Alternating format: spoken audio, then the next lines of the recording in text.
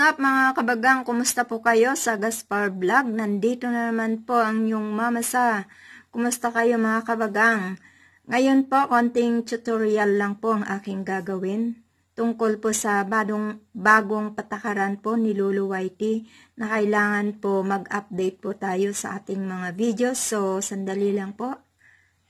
So, ang una po natin gagawin guys ay i-click po natin yung YouTube Studio po. Pagka-click niyan, ay punta man po tayo dito ngayon. So, ito po yung i-click po natin. Yun. Yung videos. Yan. Pagka-click po ng videos na yan, ay may lalabas po itong mga videos po natin. So, guys, na na-update ko na po ito kanina, itong bago kong video. So, ipapakita ko lang po kung ano po yung aking ginawa.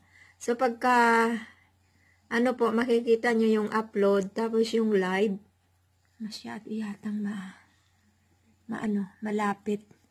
So, i-click naman po natin yung box. Yan.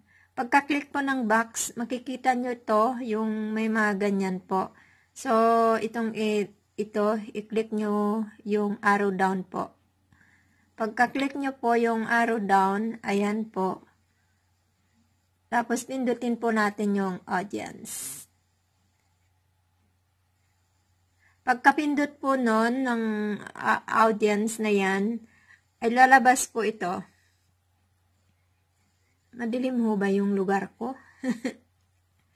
so, ayan. Pagkapindot nyo po, mababasa nyo po yung, ano, yung mga question po dyan ni Lolo. So, itong video ko naman po ay hindi po gawa o is, is not ano, made for kids. So, hindi ko po i-click yon Kung pang bata po, i-click nyo yon May mga kasama kayong bata. Yun po ang i-click nyo. So, yung akin naman ay hindi po, no, is not made for kids. So, i-click ko po ito. Yan. Pagka-click po nyan, may lalabas po doon na update videos po. Yan. So, i-click po natin yan. Bagamat na-update ko na po yan kanina, pinapakita ko lang po kung ano po yung aking ginawa. So, pagka, pagka-click ko po ng update, ito naman ngayon po ang lumabas. Are you sure? So, i-click po natin yung box. Tapos, i-click ulit po yung update videos po. Pero ito naman po ay na-update ko na kanina. So, hindi ko na po siya uulitin. Hindi ko na po siya uulitin. Kasi na-update ko na po. So, i-cancel ko na lang po siya. Iyan. I-cancel din po natin doon. Tapos, pindutin yung X. Yan. So, tapos na po yun, guys. Yan lang po. Yan lang po, mga kabagang, ang aking konting tutorial lang po tungkol po sa pagbabago po ng YouTube channel natin sa December 10.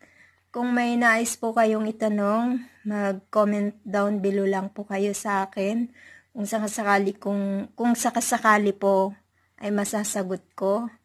Uh, thank you po sa lahat po na nanonood sa aking video. Thank you so much po. Thank you for watching and God, God bless you all guys.